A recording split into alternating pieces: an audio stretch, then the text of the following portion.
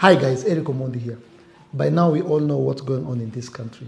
The cost of living is skyrocketing every single day. Families are going without food. Houses have been locked and kids are out of school.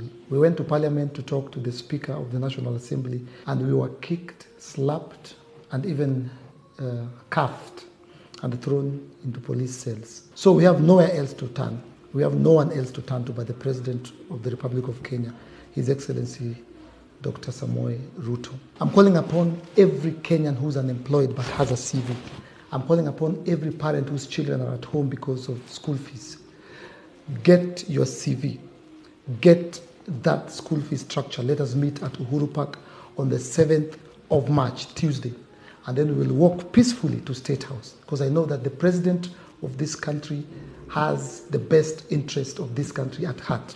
And I have a feeling, as I've said numerous times, that the president has not been informed of the serious situation on the ground.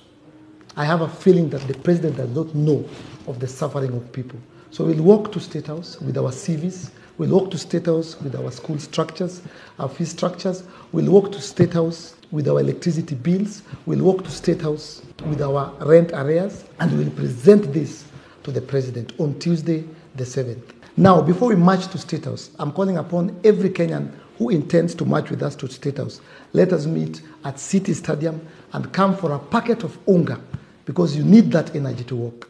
Come, we'll give you a packet of unga. You go back home, you cook ugali, and get the strength to walk to State House to present our papers to the president.